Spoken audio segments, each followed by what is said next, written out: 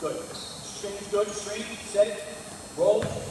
Good. Back door. Do the top guy. No, no, no, no. Anytime we get back door, set it. Five. Lift. Good.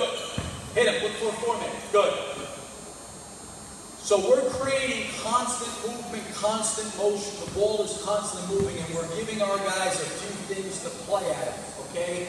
Again, a rule for us would be anytime a big guy gets stuck, okay, with the or whatever, and he crosses the rim on a dribble and reverses it, it's an automatic double pick and roll. Automatic for us. Okay? Let's just do this right now. Let's get into a uh, five at the first marker.